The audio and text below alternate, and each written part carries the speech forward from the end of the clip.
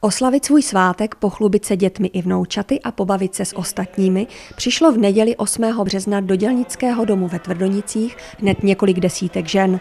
Pořadatelé jim připravili pohoštění a popřát jim přišli také děti z tamní mateřské školy i ty větší z dětského národopisného souboru Poměnka.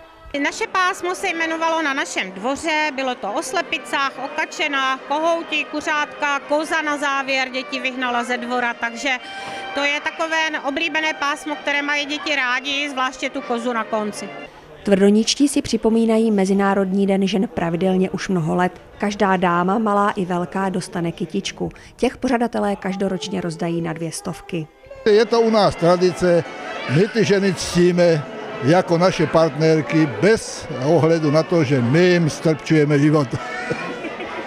O tom, že tento svátek není ve Tvrdonicích jen přežitkem, ale především vyjádřením úcty k ženám a dívkám, svědčí pravidelná hojná účast také mladé generace.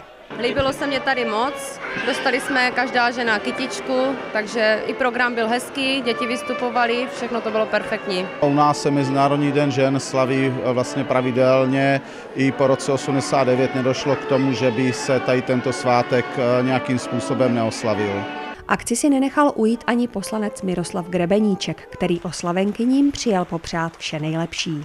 Já mám obrovskou radost, že se tady děvčata sejdou, že si popovídají a hlavně, že předvedou své vnoučata a já si myslím, že tady na podluží vždycky je to spojeno s folklorem.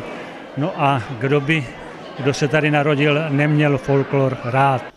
Mezinárodní den žen připadá každoročně na 8. březen. Poprvé ho slavili v Americe k výročí stávky newyorských švadlen.